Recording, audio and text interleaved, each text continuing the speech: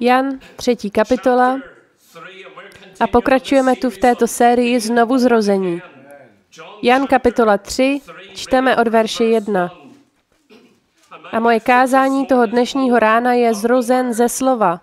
Příští týden se podíváme na zrozen z ducha. Minulý týden jsme se podívali na musíte se narodit znovu. Ale toho dnešního rána se chci podívat na zrozen ze slova. Jan kapitola 3, verš 1. Mezi farizeji byl člověk jménem Nikodem, člen židovské rady. Ten přišel k Ježíšovi v noci a řekl mu, Mistře, víme, že jsi učitel, který přišel od Boha, neboť nikdo nemůže činit takové zázraky, které činíš ty, není-li Bůh s ním. Ježíš mu odpověděl, Amen, amen, říkám ti, pokud se někdo nenarodí znovu, nemůže spatřit Boží království. Nikodém mu řekl, jak se může člověk narodit, když je starý? Nemůže přece vstoupit do těla své matky a po druhé se narodit. Ježíš odpověděl, Amen, amen, říkám ti, pokud se někdo nenarodí z vody a z ducha, nemůže vejít do království Božího. Co se narodilo z těla, je tělo, co se narodila z ducha, je duch. Nediv se, že jsem ti řekl, musíte se narodit znovu. Vítr vane kam chce, jeho zvuk slyšíš, ale nevíš, odkud přichází a kam směřuje. Tak je to s každým, kdo se narodil z ducha. Nikodem se ho zeptal, jak se to může stát? Ježíš mu řekl, ty jsi učitel Izraele a tohle nevíš. Moje kázání toho dnešního rána, zrozen ze slova, zrozen z písma, znovu zrozen božím slovem. Dvakrát v těchto verších máme Ježíše, jak říká Nikodémovi, musíš se znovu zrodit. To znamená, potřebuješ druhé narození, duchovní narození. Vaše první narození bylo fyzické skrze vaši matku. To bylo vaše první narození. Bylo to z těla, přirozeného těla. Bylo to fyzicky, to bylo první. Ale tady Ježíš říká Nikodémovi, Nikodéme, musíš se narodit znovu. Jiná cesta tu není. Není druhá možnost.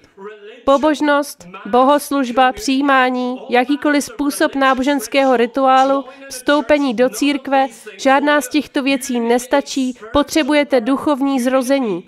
Potřebujete se narodit znovu, potřebujete zážitek, kterému se říká znovu zrození.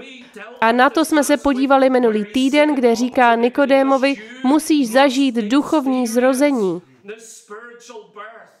Ale já se tu chci blíže podívat na něco jiného, jak Nikodémus reaguje, nechápajíc tyto věci, přemýšlel, jak se můžu vrátit do matčina Luna, jak se můžu podruhé narodit stejným způsobem. Můžu se vrátit do mančina Luna, když jsem už starým mužem? Moje matka už je v hrobě, jak by to bylo možné? Ježíš tohle vysvětlil a rozvinul ve verši 5. Za účelem vysvětlit, co znamená narodit se znovu, říká něco ve verši 5, na co se chci toho dnešního rána podívat. Podívejte se na verš 5, píše se tam, Ježíš odpověděl, amen, amen, říkám ti, pokud se někdo nenarodí z vody a z ducha, nemůže vejít do království Božího. Tady chci, abyste si něčeho všimli. Ježíš dvakrát řekl, musíš se narodit znovu. Teď na potřetí ve verši 5 říká a začíná to tu vysvětlovat. Co tím myslím být narozen znovu? Narozen po druhé, nebo narozen duchovně. Začíná to vysvětlovat ve verši 5, říkajíc, vlastně je to stejná věc, jako být narozen z vody a narozen z ducha. A tak všimněte si těch podobných názvů. Znovu zrozen znamená narozen z ducha, narozen z vody. Je to to samé. Být narozen z vody je být narozen z ducha a je být narozen znovu. Pokud jste nebyli narozeni z vody, nebyli jste narozeni znovu. Pokud jste nebyli narozeni znovu, nebyli jste narozeni z vody. Je to to samé a bez narození z vody jste nebyli narozeni znovu. A pokud nejste narozeni z vody, nemůžete vejít do Božího království, nemůžete jej ani spatřit. A pokud vy, kdo v této místnosti tu sedíte, jste nebyli narozeni z vody, a já vysvětlím, co to znamená. Nemůžete Boží království ani spatřit. Nemůžete rozumět Božímu království. Nemáte porozumění, duchovní chápání. Nemůžete to uchopit. Nerozumíte. Víte, co myslím? Ale on vysvětluje dále a říká, že nemůžete vstoupit do Božího království, pokud nejste narozeni z vody, nemůžete vejít. Co je Boží království? Je to duchovní království na této zemi. Jsou tu dvě království. Buď jste v království ďábla, nebo v království Krista. Je to naprosto odlišné.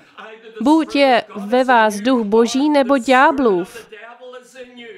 A můžete být velmi laskavý a milý člověk a i tak jste ďáblovo dítě, jste v ďáblově království a ve skutečnosti sloužíte ďáblu.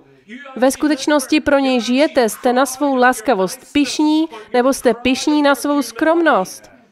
Jak zoufalý stav to může být?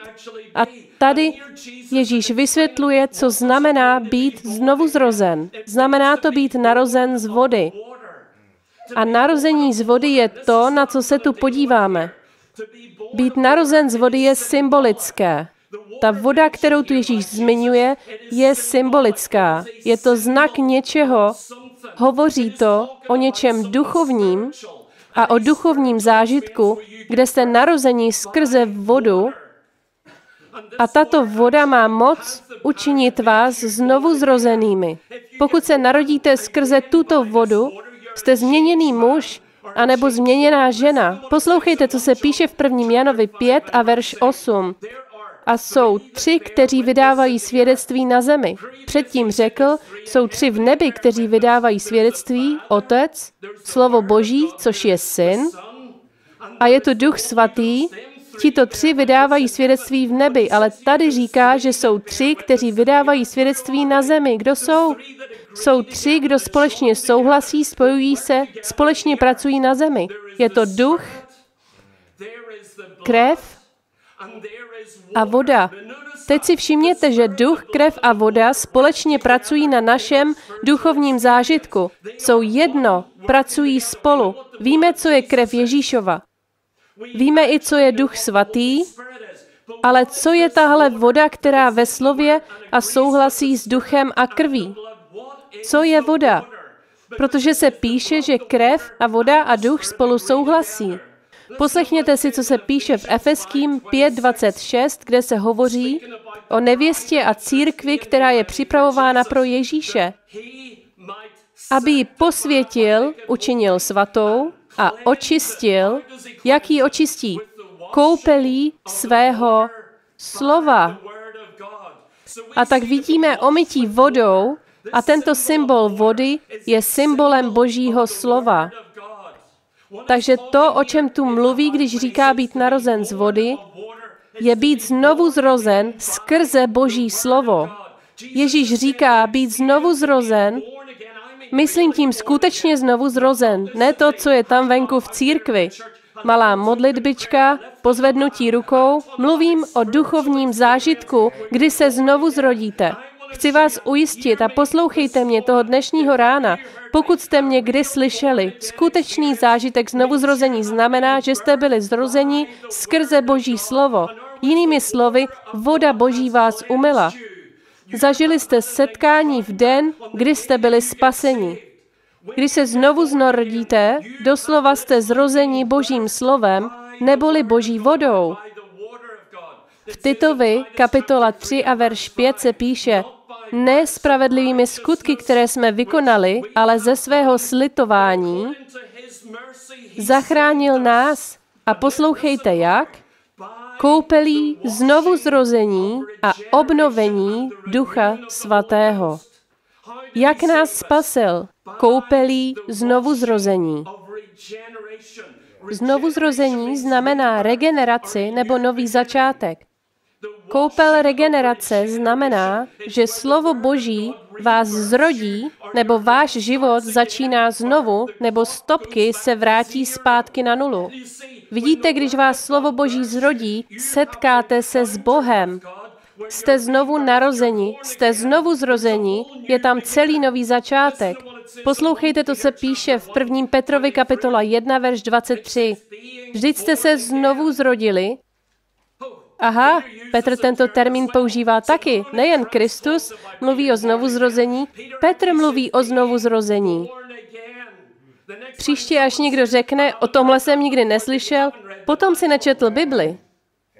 Tohle je nějaká moderní LCC věc, nebo je to ze severu, nebo z Ameriky, nebo kdo s tím začal? Kristus. Petr to kázal. Musíte se narodit znovu. Poslouchej se, co se tam píše. Vždyť jste se znovu zrožili, nikoli z pomývého semene a víte, pokud katolik řekne, že tomuhle nevěří, řekněte, váš první papež tohle nepochybně kázal. Petr první římský biskup a tohle říkají oni, ne my. Je to zvláštní, protože váš první biskup říkal, že byste se měli narodit znovu. Proč nejste znovu znozrození? Vezměte je do tohoto verše, ukažte jim a řekněte, vadilo by ti mi ten verš přečíst a vysvětlit? Protože to vypadá, že váš biskup si myslel, že byste se měli narodit znovu. Teď poslouchejte, znovu zrození, jak? Ne z pomývého semene. Co je pomývé semeno? Přírodní semeno, normální semeno, lidské semeno. Víte, každý strom, každý dub je ze semínka. Jinými slovy, v tom malinkém semínku, pokud se někdy podíváte na veliký dub, který všechno odhrnul z cesty, je to mocný dub. Přerovnal nábytek krajiny, odstrčil kamení z cesty, řeknu vám, a stojí tam majestátně. Nebylo by jednoduché tím dubem pohnout. To vše začalo v malém semínku, pomývém semínku. Ten veliký dub byl v semínku. Všechny jeho barvy, všechna jeho moc, všechna ta síla byla v tom pomývém semínku. Ale podívejte se, co Petr říká. Znovu zrození ne z pomývého semínka, ale z nepomývého.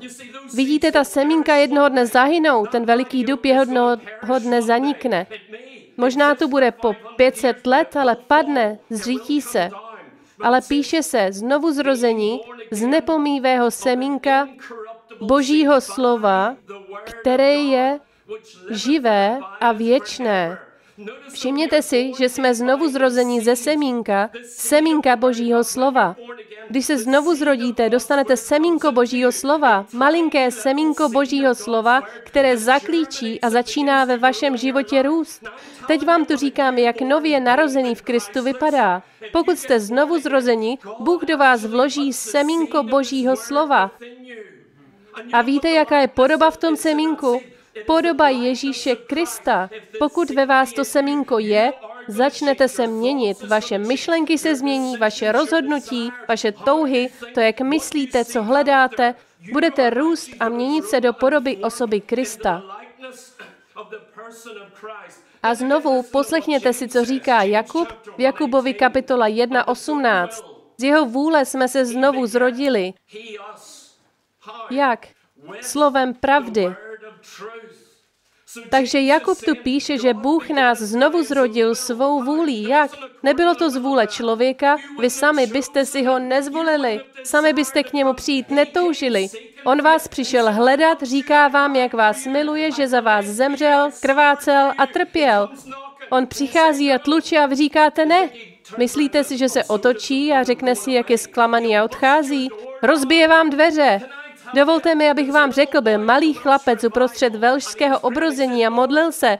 Řekl, pane, malinký chlapec uprostřed toho probuzení, kde mnoho lidí přicházelo ke Kristu, jeho táta byl opilec, rouhač a rváč.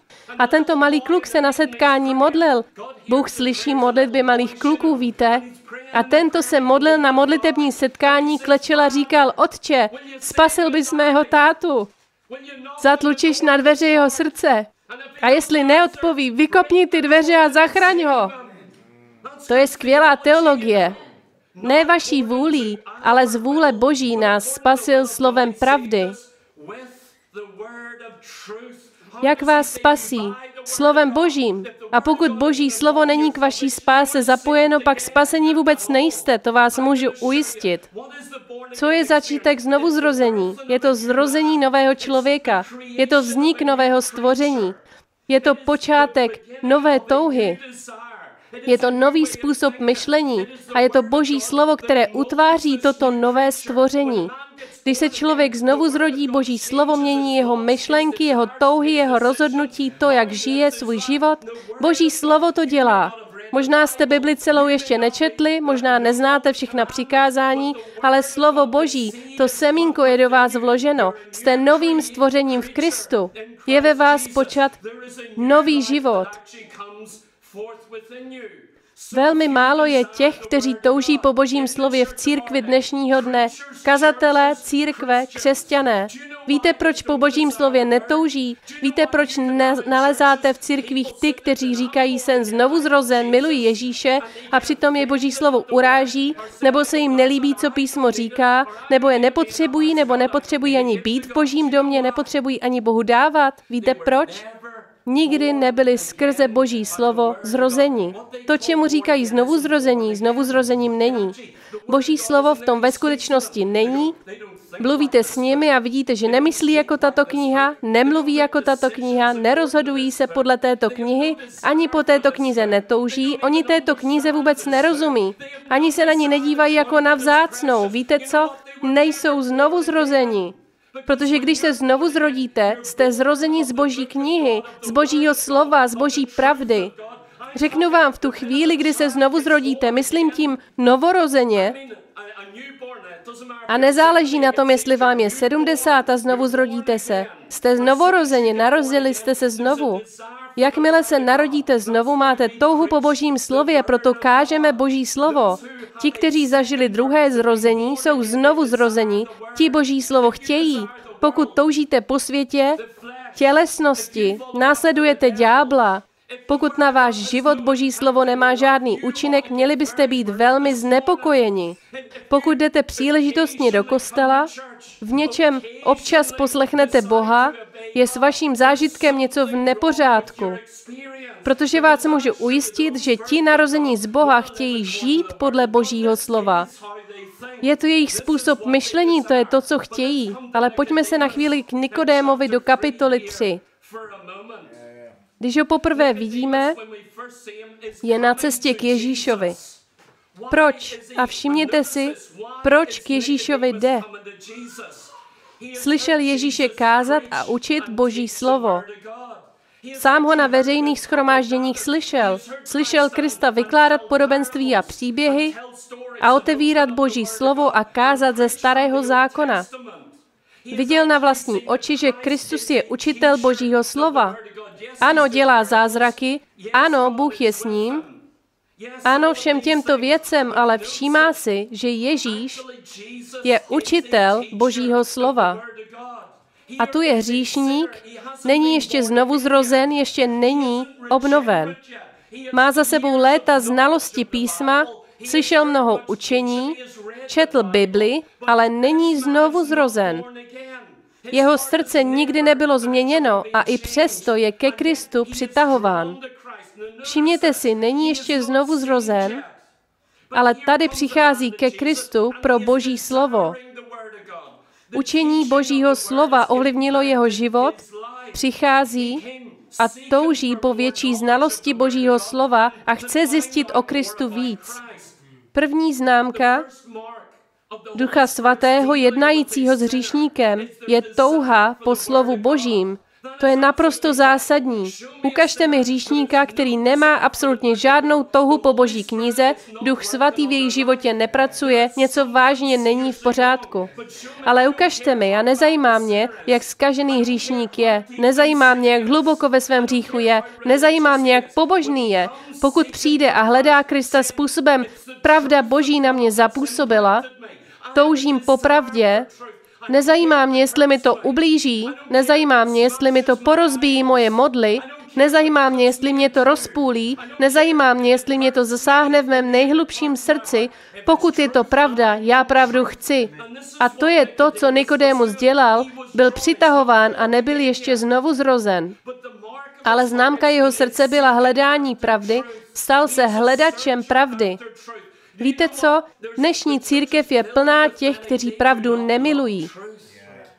A víte co? V této době budou podvedeni. Co se píše v druhé knize Tesalonickým 2?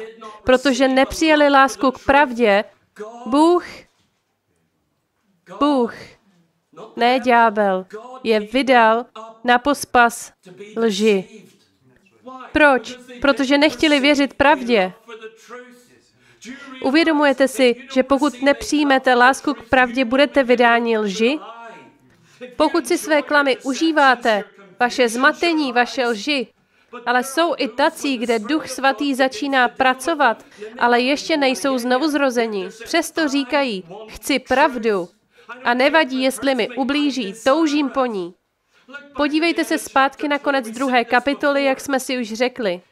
Pamatujte celé zástupy, jak vyhledávali Krista, slyšeli jeho učení, viděli jeho zázraky. Píše se tam, když spatřili zázraky, uvěřili v něj. Proč? Kvůli zázrakům. Stal se zázrak, já tomu věřím. Pokud já tady na hlavní třídě udělám zázrak, můžu vás ujistit, že budou tací, kdo uvěří. Pokud bychom šli na hlavní třídu od jejího začátku na její konec a já uzdravoval slepé a chromé a zmrzačené, můžu vás ujistit, že než dojdeme k McDonaldu na konci této ulice, naše církev bude o mnoho větší. Budou zástupy těch, kdo prohlásí, že věří. Cokoliv říkáš, věřím tomu, s tím vším souhlasím. A můžou to být ti největší ničemové z města a řeknou, všemu tomu věřím, přijdu k vám do církve, už teď jsme členy LCC. To určitě jste. Pak přijdou a na čas se do církve usadí. Plynou týdny a jak pracujeme na hříchu a problémech srdce, na píše a chamtivosti a tendencích charakteru, když začnu kázat a vysvětlovat, tito lidé si říkají, ten chlápek pořád káže i po 40 minutách, jak může všechny tyhle věci říct, odkud to má? Můžu vás ujistit, že uvidíte, jak se ty davy vytrácí. Přijdou kvůli zázrakům. Davy řeknou, že věří kvůli zázrakům. Ale počkejte si rok, zázrak vás neudrží, to vám můžu slíbit. Potkal jsem tolik lidí, co mi řekli, kdyby jen tak anděl přišel z nebe, uvěřil bych. Ne, neuvěřil bys. Potkal jsem mnoho křesťanů, co řekli, kdybych tak viděl zázrak nebo zodpovězenou modlitbu, všechno by bylo fajn, měl bych víru. Ne, neměl. To je velmi nebezpečný způsob myšlení. Zázrak vás neudrží. Zázraky jsou dány kvůli božímu slitování. Jste nemocní, Bůh vás chce vyléčit. Opravdu chce. Je to také známka jeho božství. Na konci druhé kapitoly přišly davy věřících, učení je nezajímalo.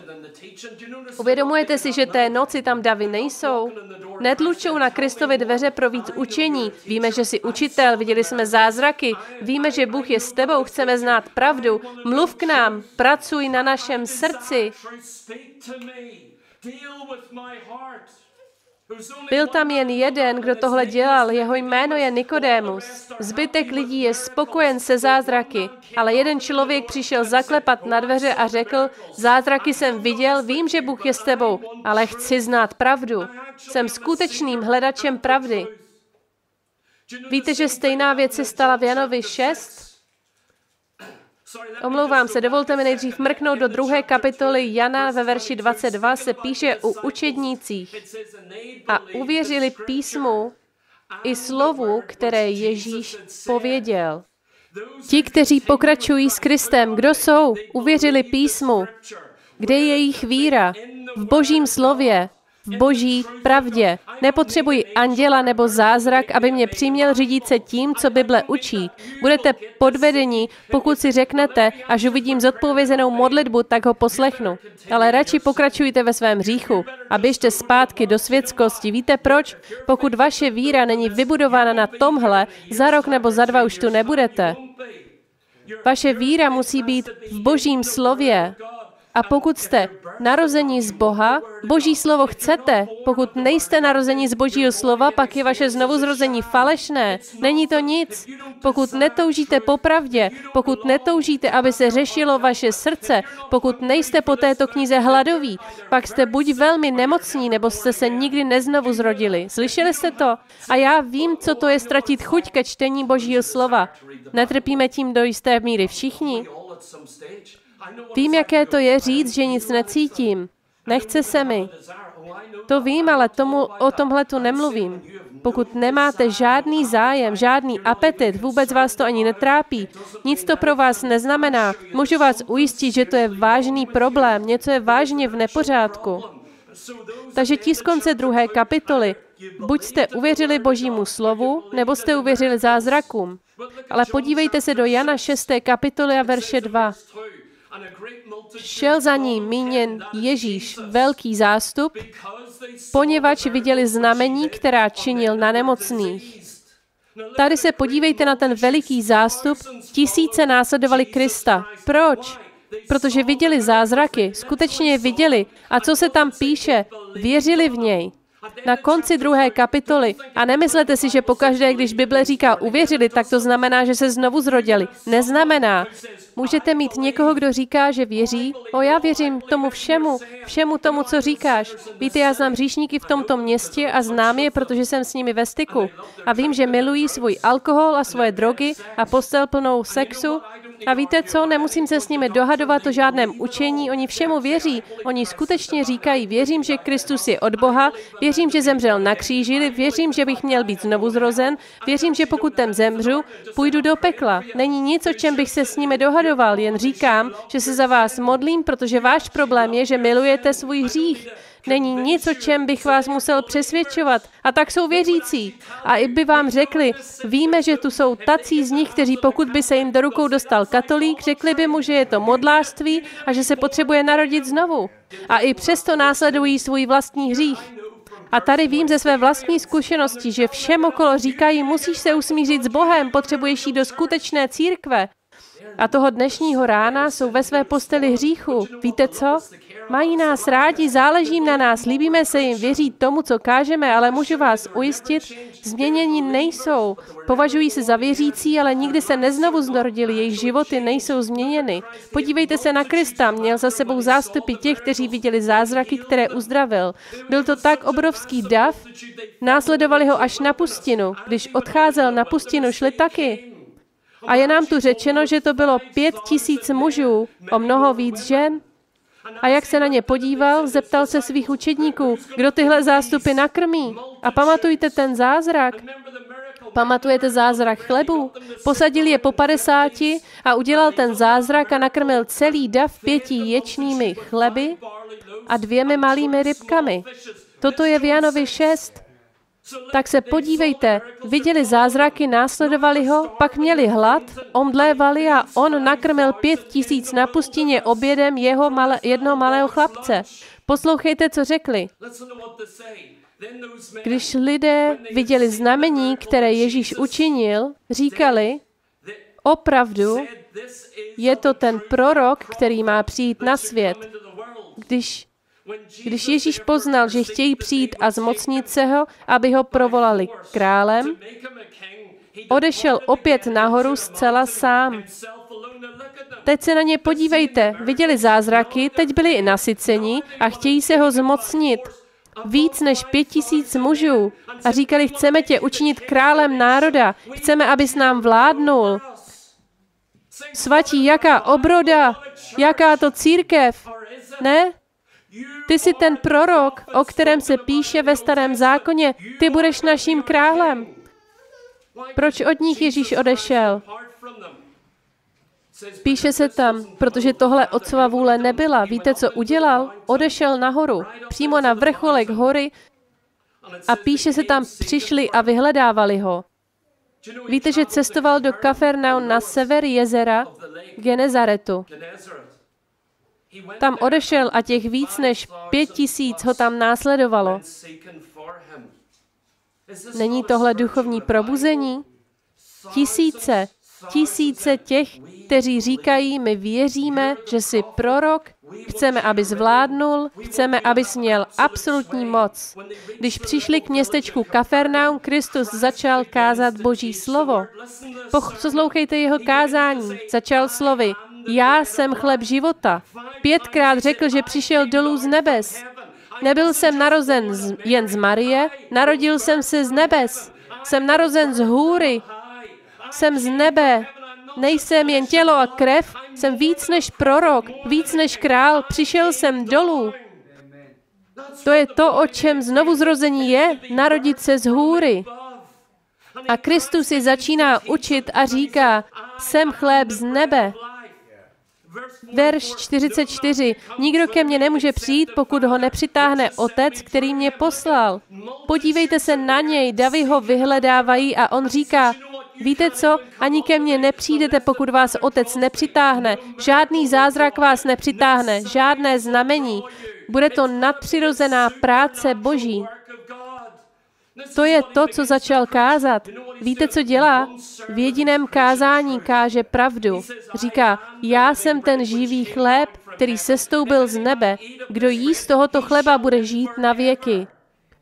Pokud mě jíte, pokud jíte z mého těla, pokud jíte z mého masa, boží slovo mé tělo, pokud ze mě jíte, a ten chléb, který dám, je mé tělo, které vydám za život světa. Verš 53. Ježíš jim řekl, amen, amen, pravím vám, pokud nejíte tělo syna člověka a nepijete jeho krev, nemáte v sobě život. Jste mrtví. Jste nábožensky mrtví. Že jste nadšení ze zázraku tu nic neznamená, že jste šli celou cestu až na pustinu. Jste duchovně mrtví. Nic neznamená, že jste nábožensky zapálení a říkáte, já věřím, že jsi prorok, já věřím, že je Bůh s tebou, věřím, že děláš skutečné zázraky. Ve skutečnosti říká, budete jíst mé tělo a pít mou krev? Káže jim. Šestkrát říká, je potřeba, abyste jedli mé tělo. Co je výsledkem tohoto kázání? Nejdříve, když přišli, vyhledávali ho, pak začali brblat, pak se mezi sebou začali dohadovat. Proč? Kvůli učení. Zázraky milovali, každý uvěřil. Ale jen co začne učit, hádají se a odchází. Co se stalo? Dostavili se na začátek kázání, všichni tě hledáme a na konci kázání se vytrácí. Tisíce říkají, ani náhodou. Ve verši 60 říkají, jsou to těžká slova. Jsou příliš tvrdá, jsou příliš krutá, příliš prudká. Kdo to může poslouchat? Kdo takhle může žít? To není praktické, není to reálné. My tě přijdeme vyhledávat na pustinu pro zázraky. Budeme mít setkání se zázraky. Přichází hledající, ale jen co začnete jednat se skutečným duchovním životem a učit, mluvím tu o znovu zrození z Božího slova. Jen co začne učit, během jediného kázání ztratí celé publiku. Proč? Protože boží slovo bylo příliš tvrdé. Verš 61 Ježíš řekl, uráží vás to? Ty věci, které učím, to ty vám působí potíže, slyšíte, co učím. Kristus věděl přesně, co dělá, že? Víte co? On nechce hledače zázraků nebo nadpřirozena. A já věřím v zázraky a věřím v nadpřirozeno. A sám jsem viděl chromé nohy, jak se přede mnou narovnaly v několika vteřinách. Sledoval jsem to. A šokovalo mě to. Takovou víru bych nikdy neměl. Tohle je Bůh. A ne jen jednou, několikrát za večer jsem sledoval Boha v akci. Ale víte, zázraky vás neudrží. Zázraky vás nezmění. Nezmění vám to srdce. Můžete va, může vás to natchnout, může vás to znáboženštit, na chvíli vás to nabudí, ale potřeba, abyste se znovu zrodili z božího slova, abyste znovu ráno přišli. Můžete schromáždit tisíce náboženských nadšenců, ale půjdete cestou s Bohem, budete žít tohle křesťanství v Limeriku, budete tam v Noklešín, budete tam ve vaší práci, ve vaší bance, ve vaší rodině, Půjdete zpátky domů ke své rodině? Budete žít jako křesťan? Můžu vám říct pouze, pokud jste narozeni z Božího slova. Pokud jste unešeni náboženským nadšením, ráno se probudíte a potřebujete prášek na bolest hlavy a říkáte si, co se mi to stalo. Přes noc je to pryč. Teď se budu muset vrátit v neděli ráno, abych to dostal zpátky. Bůh vám pomáhej, co máte? Je to pouhé náboženské poblouznění, nebo je to změněný život? Jak Ježíš učil ta těžká slova, ztratil celé publikum. A ve verši 66 se píše, od té chvíle ho mnoho jeho učedníků opustilo a už s ním nechodili.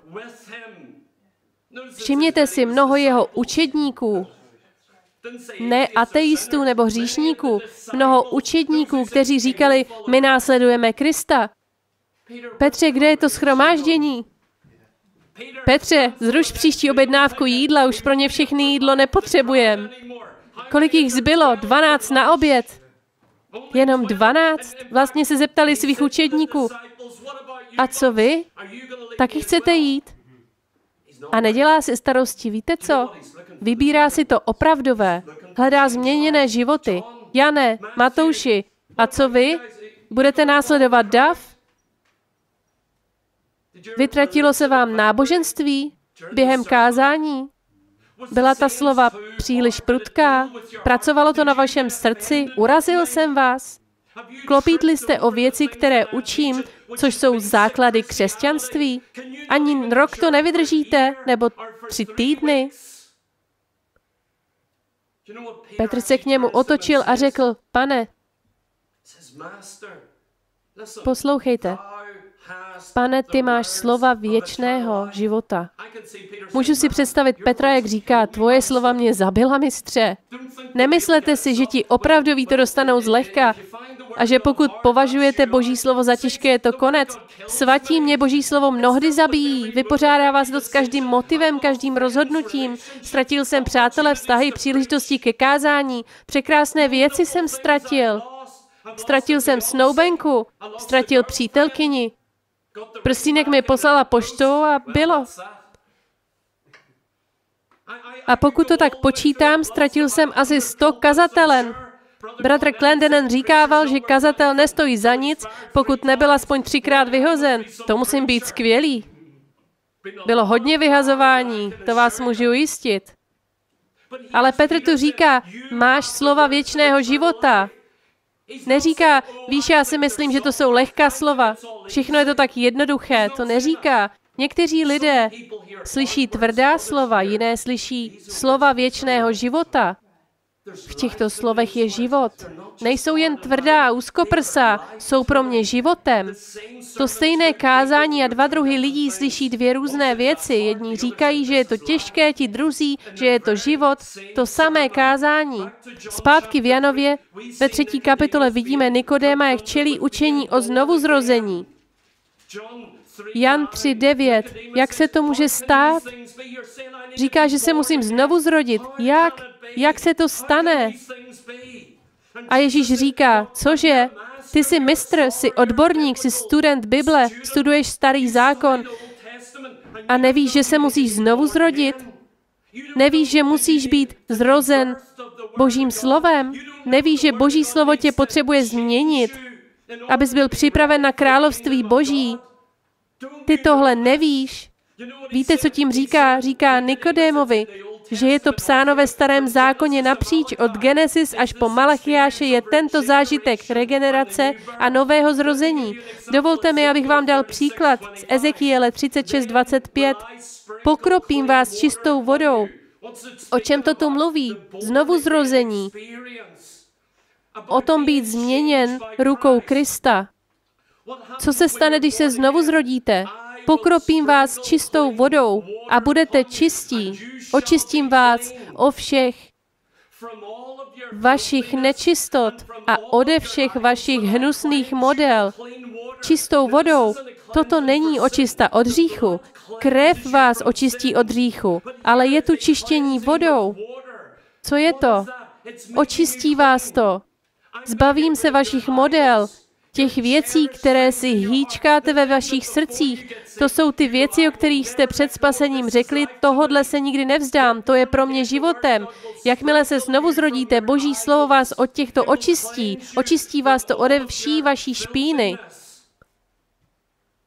A dám vám nové srdce a do nitra vám vložím nového ducha. Vezmu z vašeho těla srdce z kamene a dám vám srdce z masa. Napíšu své slovo do vaší mysli. Vidíte, pokud dodržujete zákon, je to všechno zvenčí. Když se znovu zrodíte, on napíše své slovo do vaší mysli, na vaše srdce. Když se to stane, v ten den, kdy jste spasení, kdy jste Bohem zrození, jste zrození Božím slovem. Boží slovo je napsáno na vaši mysl. Proto to není jen snaha slovo poslechnout, měl bych udělat tohle či ono. Já tohle chci, chci poslechnout Boha, chci se osvobodit od svých model a nejsem perfektní bez hříchu. Víte, hříšník může selhat před Bohem a zřešit, ale říkám vám, já chci být očištěn od svých model, chci být umyt Božím slovem. Co je modla? Cokoliv, o čem tahle kniha řekne, že je to modla. Může to být osoba nebo věc, něco, co je pro vás hodně znamená. A on říká, pokud si zemne zrozen, ta modla musí jít, ta ctižádost musí jít, ten vztah musí jít. Tohle slovo sekne přesně vejpůl, to je jistá věc. V Janovi 3.19 se píše, Soud pak je v tom, že světlo přišlo na svět. A toto je to stejné kázání, které Nikodému slyšel. Poslechněte si, co mu Ježíš káže. Musíš se narodit znovu. O čem to tu mluvíš? Světlo přišlo na svět, ale lidé si zamilovali agapé láskou více tmu než světlo, protože, a to je ten důvod, proč milovali tmu a nenáviděli světlo, protože jejich skutky byly zlé. Jan 3.20, neboť každý, kdo dělá něco špatného, nenávidí světlo. Výjimka je tu pouze, pokud duch svatý ve vás pracuje a nepřichází ke světlu. Nenávidí světlo, nechtějí ke světlu přijít. A to je ten důvod, proč lidem zázraky nevadí. Ale jakmile se začne kázat Boží slovo, je tam problém. Ale já věřím, já chci zázraky. Podívejte se na všechny ty veliké konference, vždy je to vystavěno okolo zázraků, velmi zřídka okolo učení. Víte proč? Lidé přijdou, ale jen co se káže proti jejich hříchu, nenávidí světlo, ke světlu nechtějí. Proč? Aby jeho skutky nevyšly najevo. Světlo odhaluje vaše skutky, vaše pohnutky, vaše srdce, vše, co děláte. To je to, co se děje v církvi. Mnoho je těch, kteří říkají, že jsou znovu zrození, jsme spaseni. Ne, světlo odhaluje přístup vašeho srdce. Nemilujete Boha, ale já miluju Boha, chci jít do nebe, všemu tomuhle věřím. Ale pravdu nemilujete. Nemilujete Boží slovo. Všechny tyhle věci víte a nemáte žádnou touhu to poslechnout. Říkáte si, bude to v pohodě. Ne, nebude, nebude. Nechtějí ke světlu, protože světlo odhaluje. Ale kdo činí pravdu, přichází ke světlu, aby se jeho skutky projevily. Proč by šli ke světlu? Aby se vaše skutky prokázaly. Pokud milujete pravdu, jdete ke světlu. Pokud jste zrozeni z pravdy, pokud jste zrozeni ze slova Božího, máte srdce, které říká, chci být pokárán, chci, aby světlo svítilo do mého života, Přicházím ke světlu a vím, že světlo vše odhalí. Svatí, myslím si, že některé věci jsou v pohodě, dokud nepřijdu ke kázání nějakého kazatele nebo nezačnu číst určité pasáže v písmu a jak to čtu, můžu vám říct, že se nemůžu dočkat, až tu knihu zavřu, nebo řeknu, podívej, mohl bys prosím na chvilku přestat kázat, protože to začíná ve mně pracovat a nejsem tak čistý a moje srdce není tak rovné a já nejsem tak upřímný, jak jsem si o sobě myslel. Víte co? Světlo odhaluje píchu strachu v srdci a skryté touhy srdce. Světlo to ukazuje. Ale víte co, pokud jste narození z Božího slova, sami přicházíte ke světlu a říkáte, chci, aby se světlo Boží zasvítilo, chci být Nechci být podveden, nechci být vyvrhlíkem, nechci si s Bohem hrát hry, chci, aby Boží světlo vytklo a pokáralo a aby svítilo do mého srdce, odhalujíc všechno, co je tmou. Já sám to chci. Proč? Jsem znovu zrozen z Božího slova. Zrodil jsem se z Božího slova. Ať mi to ublíží. Ať mi to řekne něco, co nechci slyšet. Ať to změní má přesvědčení a mé přístupy, mé volby. Tohle chci? Proč? Protože jsem znovu zrozen. Jsem zrozen Bohem. To je, proč od něj Petr nemohl odejít, když David odešli. Tak jak učedníci vás dvanáct, Petře, taky odejdeš? Nemůžu odejít. A nemyslím si, že tomu plně rozuměli, že byli zrozeni Bohem, že se zrodili ze slova Božího, věřili písmu. To je, proč nemohli odejít. Dovolte mi zakončit čtyřmi druhy země z Matouše 13. Díváme se tu na ty z lidí, kdo přišli do styku s evangeliem. Čtyři různé druhy. Rozsévač je stejný, to je Ježíš, rozsévač semínek. Semínko je stejné. Co je semínko? Semínko je Boží slovo. A Ježíš vypráví podobenství o rozsévači, který vyšel na pole a začal set semínka. A tu je Kristus, jak seje své slovo, ujišťuje se, že lidé slovo slyší, ale říká, jsou tu čtyři typy země. Zemín, semínko není různé, kazatel se nemění, slovo se nemění, ale jsou tu čtyři typy půdy. Jen jeden z nich je zrozen Bohem, ostatní tři nejsou. Poslouchejte, toto je Ježíš, který o tomto mluví. O znovu zrození božím slovem. První člověk je posluchač, u kterého bylo zasedo podél cesty. Píše se, některá zrna padla podél cesty a byla zašlapána. Co tu říká? Jak sel semínka, některá z nich padla na tvrdou pěšinku, kudy lidé celé dny chodí a půda je velmi tvrdá. Je zadupána a každý tou cestou chodí. Když tam semínko spadne, sedí na povrchu půdy, nepadne do půdy, ale na ní. Není přikryto, ale sedí na tvrdé, udusané zemi. Bylo hozeno a leží tam. A jde tu i dále a vysvětluje, že ptáci létají ve vzduchu, sletí dolů a pohltí semínka, sezobnou je a snědí. O čem toto mluvíme? Říká, to jsou ti, kdo slyší slova království a nerozumí jim. Mluvím tu o někom, kdo sedí v církvi, slyší evangelium, slyší všechna svědectví, slyší, že se musí znovu zrodit a když to slyší, nerozumí tomu. Víte, jaký jsou? Ta půda je příliš udusaná a chodí tam tolik lidí, že semínko tam jen tak leží. Mohlo by je zachránit, mohlo by je zrodit, mohlo by změnit jejich život, naprosto překopat, kým jsou. To semínko by k ním mohlo přijít a spasit je a i tak tam leží na povrchu. Znáte ďábla? Když o tu odcházíte, chce to boží slovo ukrást. Víte, když se vrátíte do sérií kázaný na začátku téhle církve a slyšíte ty ameny a vzpomenete si, kdo čemu věřil. To semínko bylo ukradeno. To slovo bylo ukradeno. Ďábel přichází, aby boží slovo ukradl.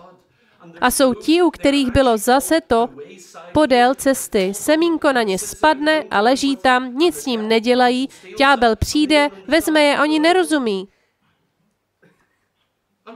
Říkám vám to jak, víte co?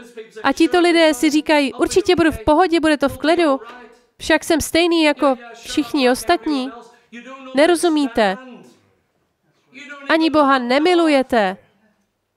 A ďábel přijde a řekne, děkuju moc, ani jste se nesnažili, ani jste půdu neobdělali, není šance, že tohle semínko do vašeho života dostane. Je tam veliký provoz. Víte, někteří lidé jsou tak vytížení, tak chycení ve všech aktivitách.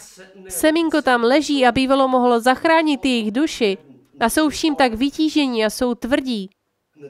Ďábel semínko sebere. Druhý typ jsou ti, u kterých bylo zase to na skalnaté zemi.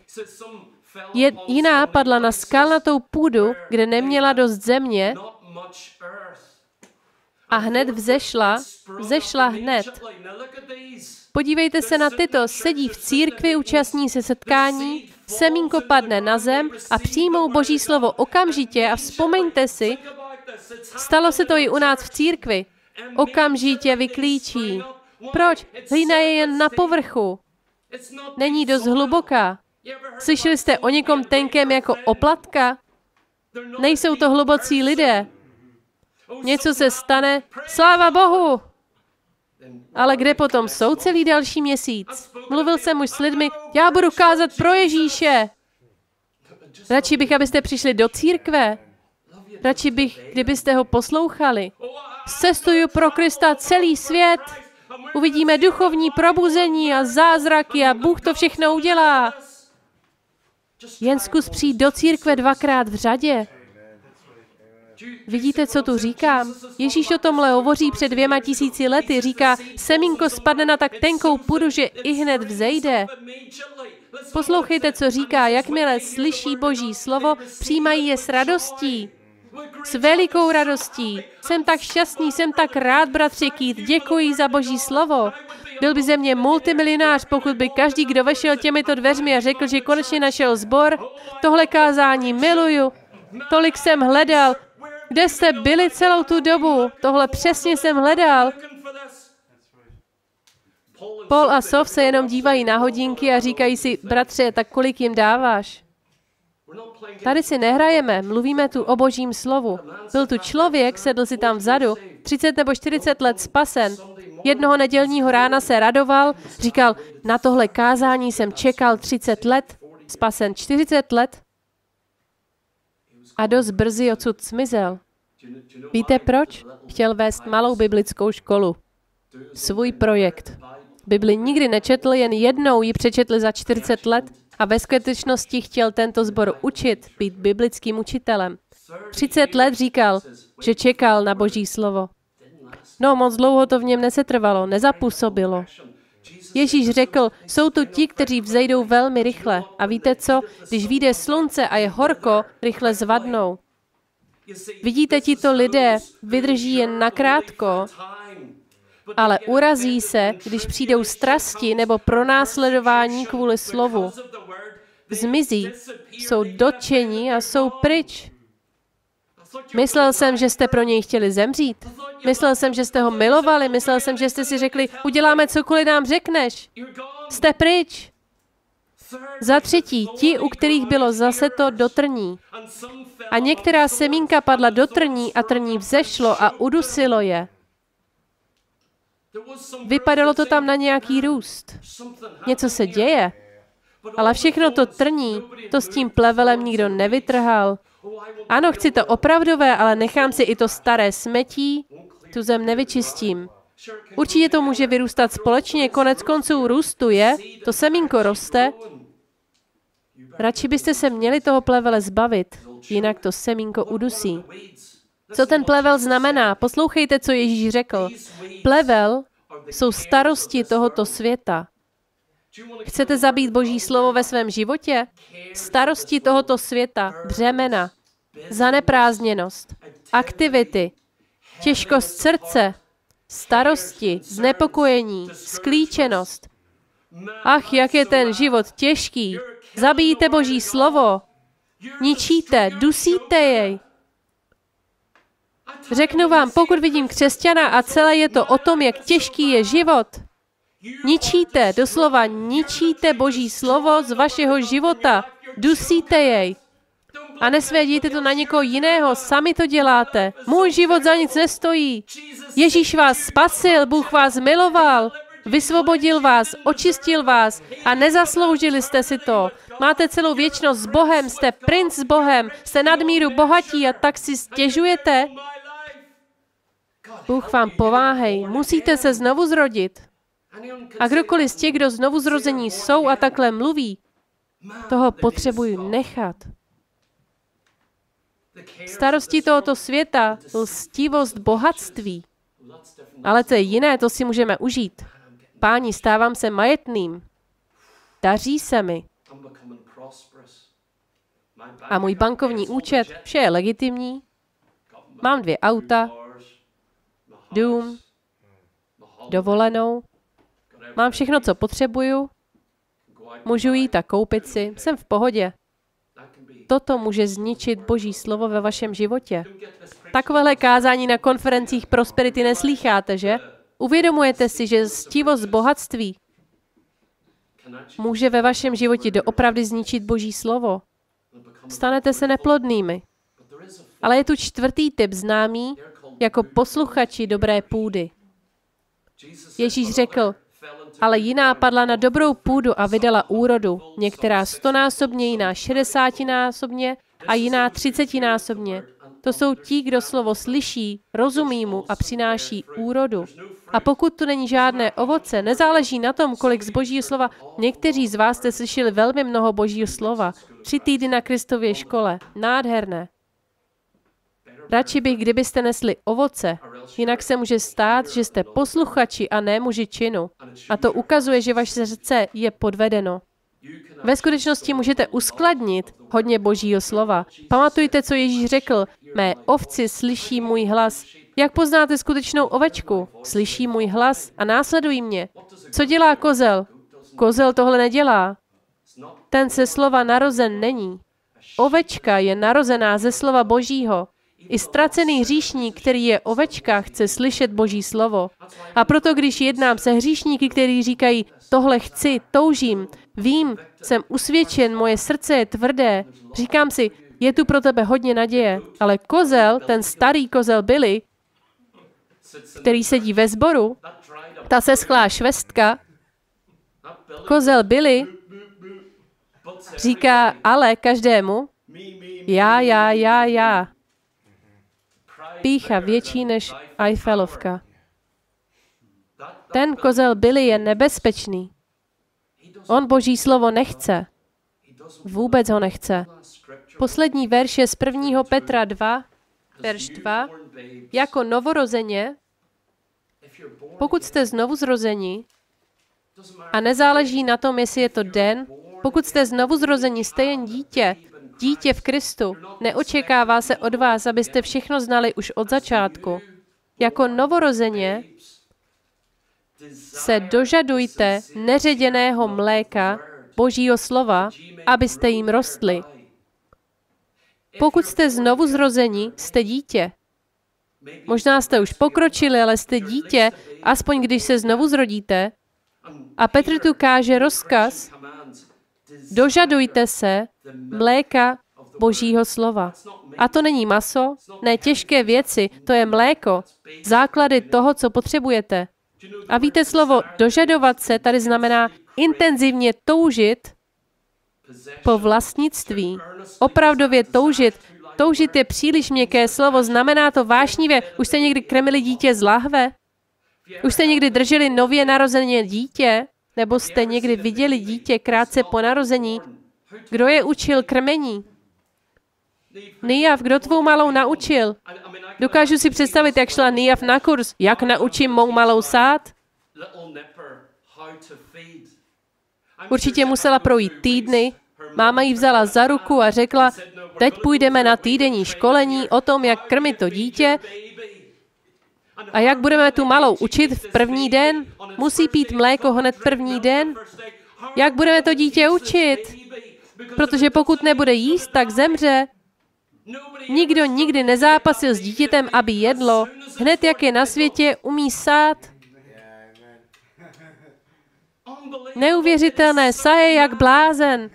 Když jsem byl mladší, krmíval jsem jehňátka, říkali jsme jim sací jehňátka. Drželi jste láhev a je to malé a tahá vám to tu láhev z ruky a je to velká láhev a dělá to jehně, co saje. A to malé dítě je úplně stejné, svatí. Takový bychom měli být. Jako novorozeněta dovažujte se neředěného mléka Božího slova, abyste jim rostli. Je tam chuť k jídlu v tom znovu zrozeném dítěti, zrozeném ze slova. A víte co? Kdo netouží po božím slovu, buď si musíte vrátit a činit pokání a říct opust mi, vrať mě zpátky do reality, nebo se musíte narodit znovu. Ale pokud vám tohle slovo není cené, dávejte si pozor, jestli nebylo uneseno dňáblem, anebo jestli jste se nestali uraženými nad Božím slovem, anebo jestli něco ve vašem životě to slovo nedusí k smrti.